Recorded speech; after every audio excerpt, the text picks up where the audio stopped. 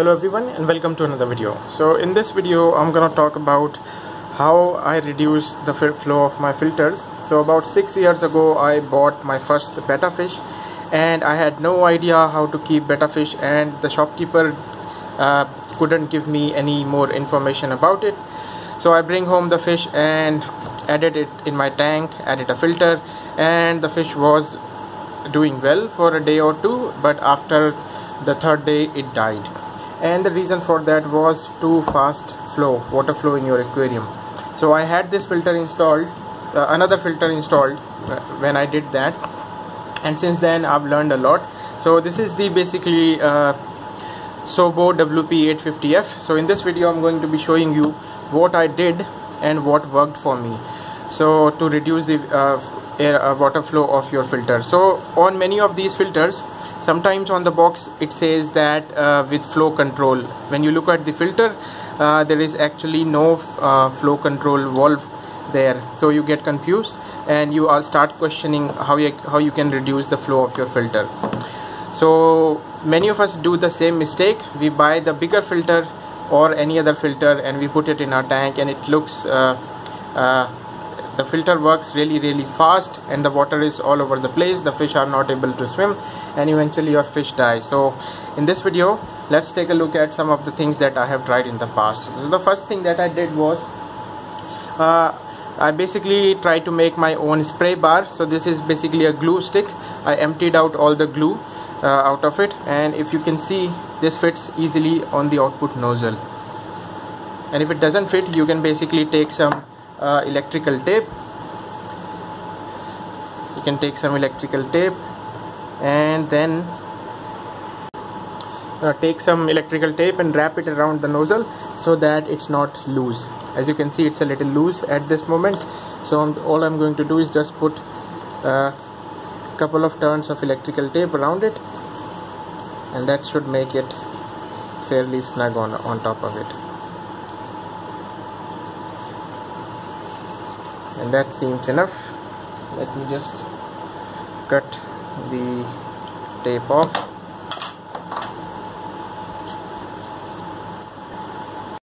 And now you can see that it is very snug and we are easily able to fit this around the nozzle of our filter. Now that you've got the tube stuck all we want to do now is make some holes and make sure the holes are not very big. So we are going to make a couple of holes that are going to be really very small very small holes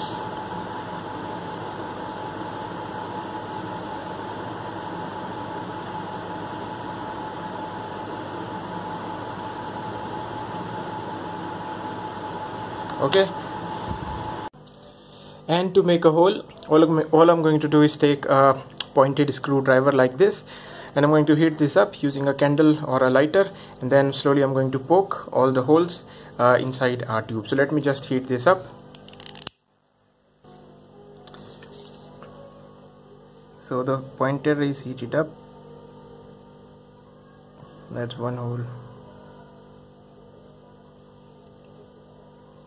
that's another hole. And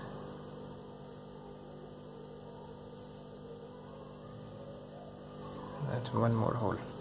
So I've got all the holes. Now all I'm going to do is wait for the screwdriver to uh, cool and then I'm going to just rough the uh, inside of the hole to make it smooth. So let's wait for the screwdriver to cool. So the screwdriver is now cool now. Let's uh, clean the holes up basically rotate each hole. So that there is no burr left. Not a good hole this was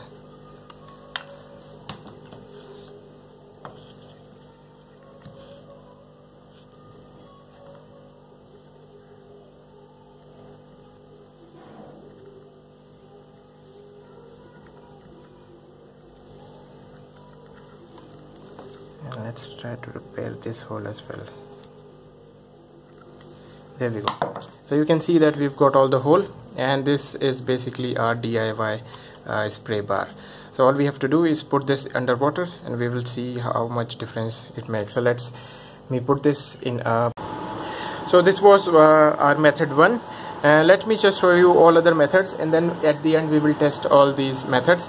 So let me just take the uh, this out and the easiest thing that I found was that I had this pen laying around. As you can see it already has these holes. And all I did was I inserted it inside the filter and it was it fit really well. So I use also use this but it didn't work as well as I wanted it to work. But if you uh, want to try it you can do it as well. Other thing that I tell everyone is using a piece of cloth. So what you can do is you basically you can take a piece of cloth. So let me just so this is a old bed sheet uh, that I have broken it into small pieces. So let me just take out a small piece out of it. So I've got a piece now. So all you do is basically take the piece of cloth. You could also you can also use a handkerchief fold it twice and then all we have to do is basically tie this contraption around our filter nozzle. So this is our filter nozzle. Put this in here bring the other end on top of that and then tie this around. So basically we want to make a small tube around our uh, filter a small balloon made of cloth around our filter so that the water loses all its energy in going through the cloth and then the water filter and then the water flow becomes a little less. So let me just tie it down. Uh, before tying it down let me show you another method that I did. So you can also use uh, PVC pipes like this. All you have to do is close one end of the pipe insert the other end into the filter and then again make holes.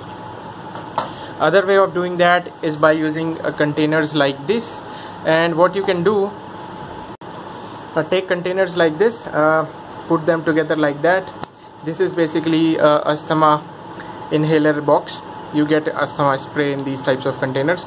So you make a small hole on the cap of this container and you make sure that this fits nicely on the output of your filter. And then what you can do is you can take plastic uh, dishwash scrubber and put that inside this uh, container. And not only you are going to reduce the speed of your filter but you're also going to increase the uh, uh, filtering capability of your filter because the uh, dishwashing the plastic dishwashing uh, scrubber uh, inside this container will also filter some of your water.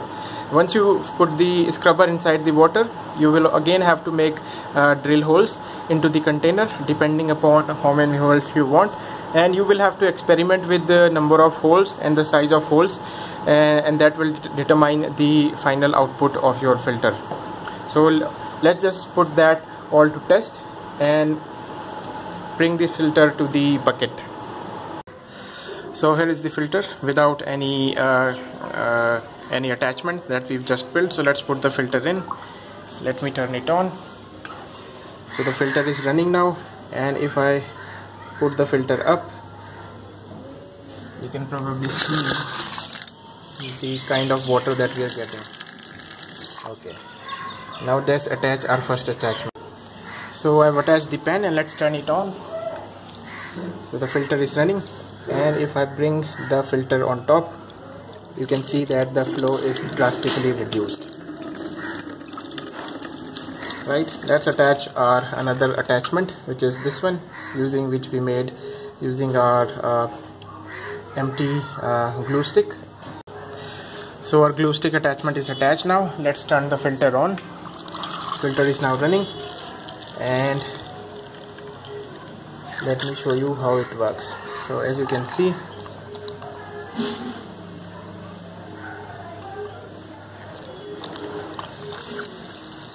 there.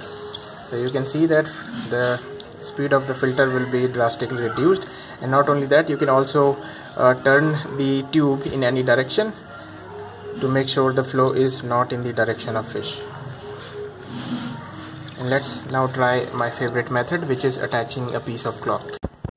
And now let's try my favorite method which is attaching the cloth. So let me just attach the cloth. You can attach the cloth uh, any way you like which works for you and let me just do that.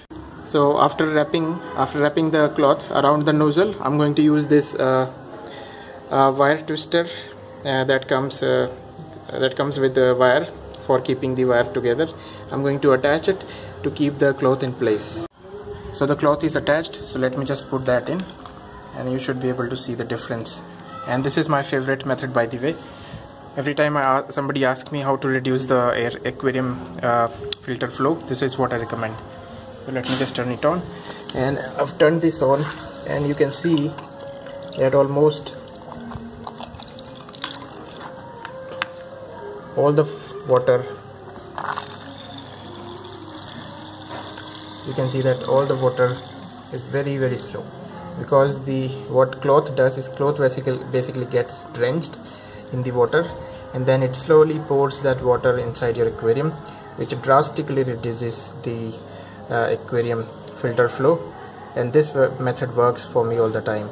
Uh, I'm using this old uh, bed sheet but you can use some uh, better cloth maybe a black cloth that will also look much better inside your aquarium. So there we go. This was uh, some of my methods. And the last method that I'm going to show you now is let's uh, build. And for the last method we are going to use this uh, asthma spray container you can get this from your friend or if you if somebody you know uh, who uses respiratory uh, sprays they probably have these kinds of containers. Or you can use any other container. All we want is basically a container with a lid on it. So what we want is we want to drill or make a hole about the nozzle size of our uh, filter. So this is my filter. So let's make a hole about this side so that it fits in snugly and again I'm going to use the same method you can also use a drill or any other way you want to make a hole. All I'm going to do is use this heat this up and then make a hole. So let me just do that. So after making the hole all I'm doing is using this uh, old knife to scuff this off to make sure that we don't have any burr. And let's try to fit our aquarium filter in it and let's see if it fits. So it doesn't fit in just yet so we need to make the hole bigger. So all I'm going to do is take the knife and keep uh, rotating it inside this hole until the hole is big enough to fit our filter nozzle. And there we go after five minutes of hard work I've got the hole and it fits very nicely on the output of our filter. There. And now you basically attach the container it doesn't have to be this container. You can use a coca-cola bottle cold drink bottle or any other shampoo or oil bottle for this. Now all we have to do is drill alongside uh, this uh, uh, container. And the good thing about this uh, method is that you can add your own filter media. And you can also increase the filtering power of your filter by doing uh, this method. So this is a basically uh, dishwash dishwashing plastic utensil cleaner. And all you do is basically I got this for 5 rupees. And you open this up like so. You put this up inside your container like that.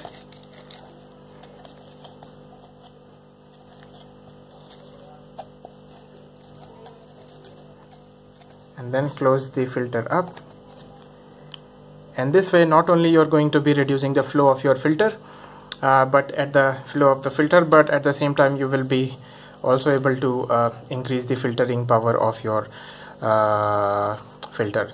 Instead of using this plastic I think this is the cheapest option available. You can also use a couple of bio balls. So if you have some bio balls laying around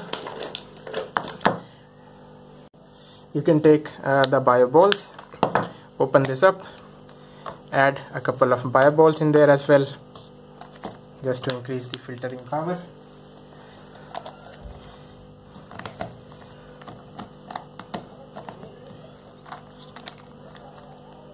And let's that's about it.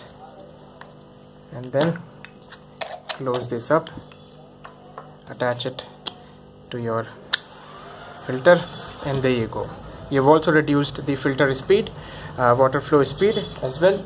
And also at the same time you have uh, increased the filtering power of your filter. I'm not going to show you running this filter because you get the idea. It's the same thing basically a small container uh, with some holes like uh, I showed you the previous example. Uh, so I wanna apologize if this video is all the all over the place because my computer uh, stopped working using somebody else's computer and I only get about 10-15 minutes for using the, his computer. So editing this video is going to be really difficult. So I want to apologize if this video is all over the place or you see something before I talked about something. So anyway but you get the idea. This was my video on how I have uh, I, I managed to reduce uh, the uh, filter speed sorry the water speed of my aquarium I hope you like this video. I hope you found this video helpful and if you did consider liking this video and consider subscribing to my channel. With that said I want to thank you for watching and I will see you guys in the next video. Bye